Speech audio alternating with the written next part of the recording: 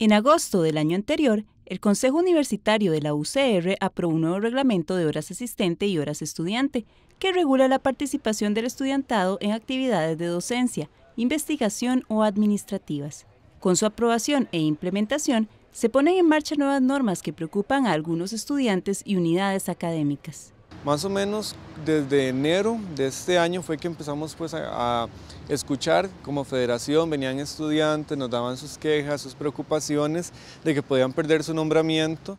La imposibilidad de realizar horas asistente y horas estudiante de manera conjunta es una de las preocupaciones. Otro de los inconvenientes ha sido el artículo 17, que establece un promedio superior a 7 para levantar un requisito cuando no se cumpla con el mismo, o lo que se conoce como inopia.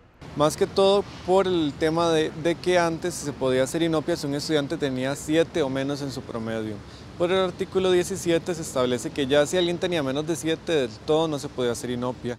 Tener aprobado el 50% del plan de estudios de sus respectivas carreras es otro aspecto que preocupa a la población estudiantil, ya que se considera que ese requisito está diseñado para carreras de cuatro años de bachillerato y no las de cinco años que terminan con la licenciatura. Se habló un poco del requisito del 50% del plan de estudios y por ejemplo también eh, si yo soy estudiante y eh, ya pasé un curso, entonces es necesario que tenga ese 50% aprobado si lo que va a hacer es asistente del curso que ya probé, ¿verdad?